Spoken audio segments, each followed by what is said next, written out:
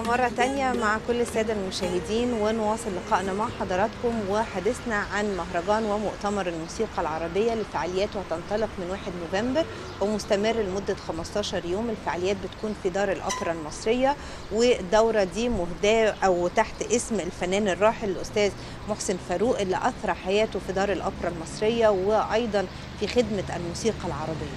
يسعدنا النهارده إن إحنا نلتقي مع دكتور علاء فتحي أستاذ التأليف الموسيقي بالمعهد العالي للموسيقى وعضو لجنة التحكيم مسابقة الصوت الذهبي التابع لوزارة الثقافة. أهلا بحضرتك يا أهلا فندم وصباح أهلا الخير. وسهلا. صباح الخير.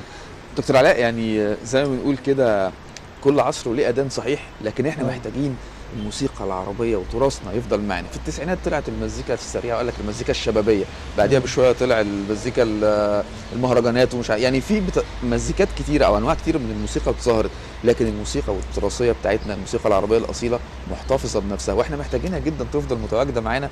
وده يعني مهم جدا يكون في مهرجان ومهرجان بيتعمل كل سنة. وأهمية المهرجان ده بالنسبة للشعب المصري وارتقاء الذوق. زي ما أكبر دليل إن الشعب المصري ليه يعني ارتباط بالموسيقى العربية. هو نجاح المهرجان كل سنة الحقيقة والمؤتمر.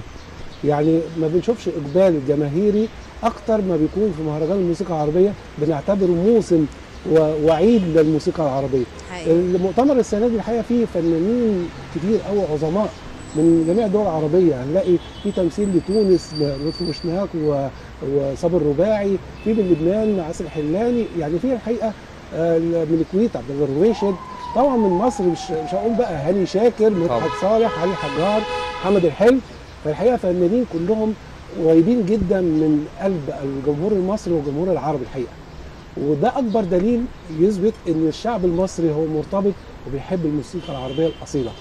الحقيقة السنة دي كمان في محور مهم جدا سواء في المؤتمر أو في حفلات هو كان المؤتمر زي ما إحنا عارفين طبعا بنكون عاملين محاور آه، من خلالها بنقدم الأبحاث العلمية بحيث نناقش قضايا الموسيقى العربية. الحقيقة لسه كنت هقول إنه يعني مهرجان الموسيقى العربية كمان بيكتسب أهمية بإن هو مؤتمر ومهرجان لأنه من خلاله الأبحاث العلمية بتطور في شكل الموسيقى بشكل أو بآخر وبتفيد الساحة الفنية.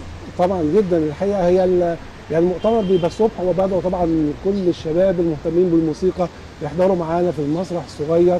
الحقيقة من يوم اثنين لحد يوم ستة اللي فيه بيبقى على فترتين في الابحاث اللي بتتقدم برضه من جميع الدول العربية الحقيقة. في محور مهم جدا بقى اللي بركز عليه بحكم إن أنا قسم تأليف وقيادة في المعهد العالمي للموسيقى العربية وبحب الموسيقى التصويرية. تمام. وليا مؤلفات في هذه في هذا الجزء.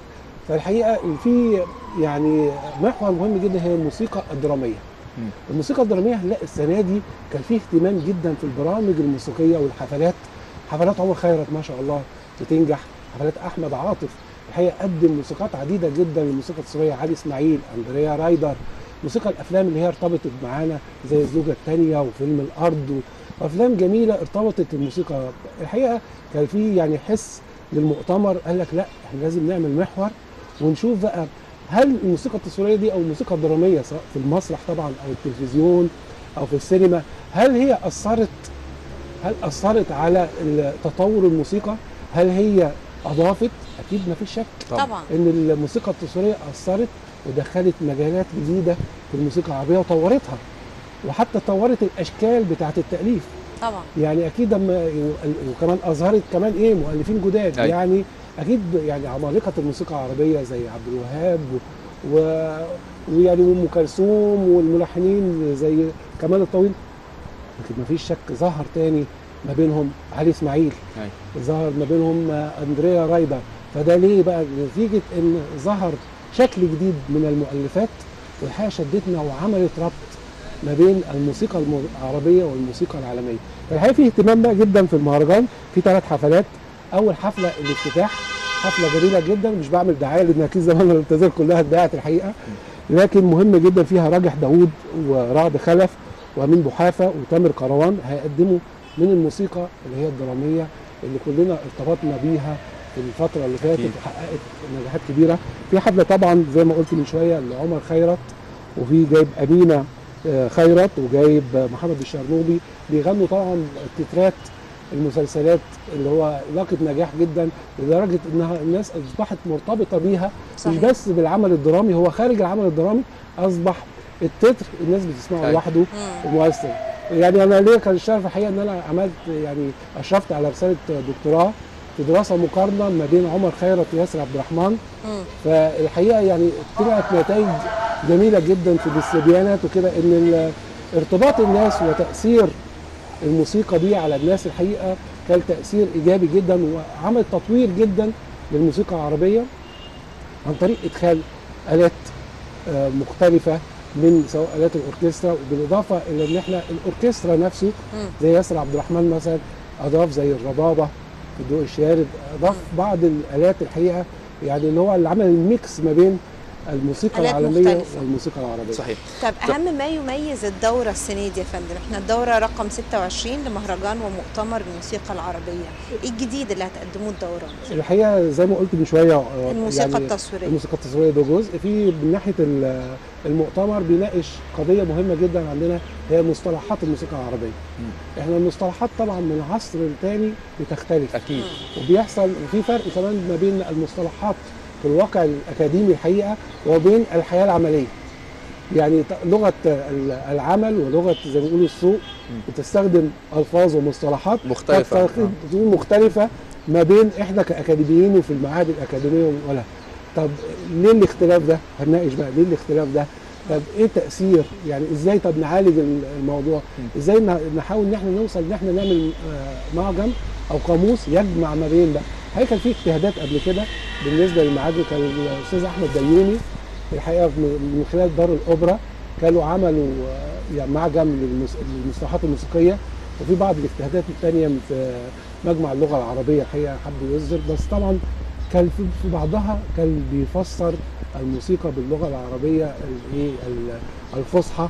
وطبعا ده ساعات في بعض الأحيان بيكون بعيد عن الحياة العملية. صحيح. فالحقيقة هنناقش بقى إزاي بقى نوصل ان إحنا نجمع كمان المصطلحات من دول مختلفة صحيح. إحنا طبعا مصطلح ساعات بيبقى في مصر يختلف عن المصطلح في العراق أو المصطلح في سوريا فازاي بقى نوصل للتوليفة إن إحنا نجمع المصطلحات تمام. دكتور علاء يعني مسابقة الصوت الذهبي واكتشاف آه، ال- المواهب من خلال المحافظات المصرية إحنا عندنا عندنا مواهب كتير جدا لكن إزاي بقى نقدر نكتشفها بجد ونطلع الاصوات ال- الحلوة الجميلة اللي بنفتخر بيها؟ الحقيقة أنا بسعد إن أنا أكون عضو في لجنة تحكيم صوت الذهبي لل- للدورة الثالثة اللي هنبدأ بكرة إن شاء الله في سينما الهناجر. الحقيقة فالسنة دي يعني مفاجأة بالنسبة لنا كل مرة يعني الحقيقة إن بيزيد عدد المحافظات إن كل المحافظات السنة دي بتقدم لنا. السنة اللي فاتت الحمد لله الفايز الأول كان من المنيا تمام. محمد هشام. والحقيقة سعداء جدا بتكريم السيد الرئيس السيسي ليه في مؤتمر الشباب في المنيا. وهو حتى كان النهارده نفسه يجي بس للأسف عنده محاضرات في كلية التربية النوعية في المنيا. وبعد كده عنده مؤتمر الشباب في شرم الشيخ. صحيح. فهيجي مصر هنا ويسافر شرم الشيخ في المؤتمر. فالحقيقة ال- المسابقة الحقيقة عملت إشعاع آه، موسيقي فني لل- للموسيقى العربية. لأن إحنا عاملين مسابقة الحقيقة محددينها في الغناء الطربي أو في غناء قوالب الموسيقى العربية. الحقيقة بنصفي تملي على ثلاث مراحل. المرحله الاولانيه بتدي فرصة للشباب يقول أي أغنية هو. يحبها من أي شكل.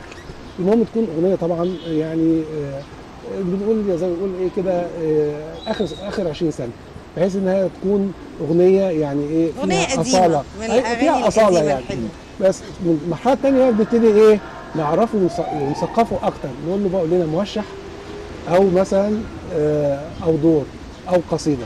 فيبتدي بقى الشاب من دولت الحقيقة قابلنا شباب كتير قوي كان بعض الاحيان ما بيبقاش عارف يعني إيه موشح؟ فابتدينا نفهمه يعني إيه موشح. ابتدى هو يدور من خلال على النت يبتدي يتعرف على سيد درويش بقى ابتدي يتعرف على محمد عثمان يبتدي يعرف بقى آه، قصائد بتاعت محمد عبد الوهاب. الحقيقة ال- كان يعني المردود الثقافي اللي حصل من خلال مسابقة الصوت الذهبي كان الحقيقة هايل جدا. من خلال إن إحنا أول دورة 10 فازوا. ثاني دورة 10 فازوا برضو. الحقيقة عملنا لهم حفلات عديدة من خلال قطاع صندوق التنمية الثقافية لأن إحنا عندنا 18 مركز. عندنا مثلا أنا من خلال كنت أنا ماسك مدير متحف ام كلثوم اللي في المنيل كنا بنقدم صالونات ثقافية وحفلات آه، الحقيقة بموسيقى عربية. كان بيشاركوا بجانب المطربين المصريين اللي هم زي ما قلت كده بيحافظوا على الموسيقى العربية. مي فاروق. مي فاروق من الأصوات الجميلة الحقيقة اللي. عملت حفلات عندنا في متحف أم كلثوم ولقت نجاح كبير قوي. فإحنا عندنا الحقيقة بنحتضن آه، فرصة بندي فرصة للشباب سواء الصوت الذهبي أو مطربين الأوبرا أو حتى الهواة إن هم يقدموا من خلال الصالونات عندنا ومن خلال الحفلات العامة. بالإضافة بنجيب الفنانين الموسيقى العربية برضو يساندوا الشباب لأن الشباب برضو لوحده محتاج طبعا. مساندة محتاج إعلامية طبعا. ومن وزارة الثقافة وال, وال يعني كافة الهيئات يعني. بس إحنا كمان محتاجين رعاية أكتر للفايزين من الأصوات الشباب. يعني زي ما حضرتك بتقول آه, آه بيبقى في رعاية وبيبقى في دعم وبيتقدموا في حفلات لكن هم عايزين يطرحوا أكتر للجمهور عامة لأنه يعني الأسامي اللي حضرتك قلت إن 10 فازوا في المسابقة اللي فاتت هم فين في الساحة الفنية دلوقتي؟ إحنا مش هو شايفينهم ومش شايفين تواجد قوي ليهم آه الحقيقة إحنا بنطالب كنا من فترة كبيرة قوي في وزارة الثقافة يعني كوزارة على بعضها وعندها قطاعات كبيرة جدا. يعني عندنا أنا من خلال آه، متحف أم كلثوم الحقيقة واللي هي ومن خلال بيت الغناء العربي آه، اشتركنا مع بعض عملنا المسابقة من خلال الصندوق الحقيقة الصندوق ده قطاع كبير في مراكز. عندنا أكاديمية الفنون بحكم إن أنا. بشتغل في المعهد العالمي للموسيقى العربية. عندنا قطاع كبير من المعاهد اللي بتنتج إنتاج فني عندنا الثقافة الجماهيريه بنطالب في قناة فضائية. مفيش شك لو عملنا قناة فضائية متخصصة في تقديم الفنون المختلفة من خلال إنتاج وزارة الثقافة مفيش شك هتدي فرصة. إحنا الإعلام برضو ليه دور. طبعا. يعني لأن مسألة يعني ظهور نجم أو تبني نجم يحتاج ماديات. طبعا. أنا الشاب الحقيقة بيجي بشكل أدبي أكتر منه بشكل مادي. لأن ما أقدرش أمضي معاه احتكار.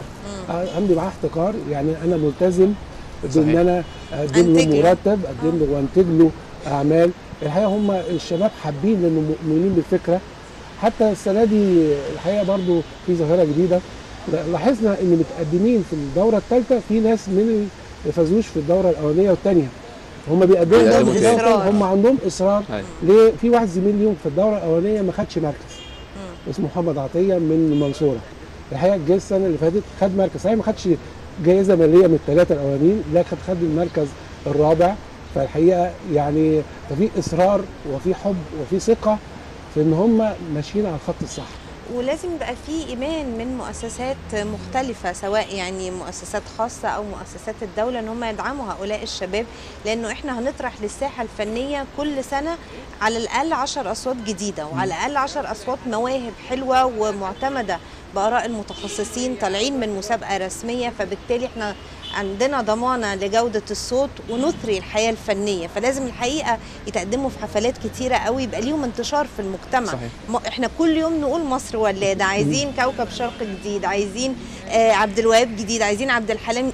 أكيد الشباب دول فيهم مواهب فيهم ما كويسه شاء الله أصوات جميلة جدا. وفي الحقيقة مبادرة لسه برتبها مع الأستاذ خالد جلال آه، من خلال مركز الإبداع هيعلن عن مسابقة للأغاني الوطنية.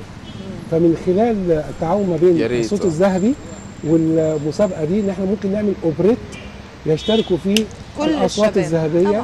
في- عمل وطني إن شاء الله على إن شاء الله يناير الجاي إن شاء بإذن الله إحنا الله. محتاجين حاجة زي كده جدا الفترة الله. اللي جاية إن شاء الله إحنا بنشكر حضرتك شكرا جزيلا دكتور علاء فتحي أستاذ التاليف الموسيقي المعهد العالي للموسيقى وبإذن الله ربنا يوفقكم في الم- المهرجان بإذن الله وإحنا متابعينكم. إن شاء الله. شكرا وكل سنة. وأنتم طيبين. وحضرتك بالصحه صباح الخير. صباح نشكر كل السادة المشاهدين اللي تابعونا وإن شاء الله بكرة اللقاء يتجدد ومصر جدا حبينا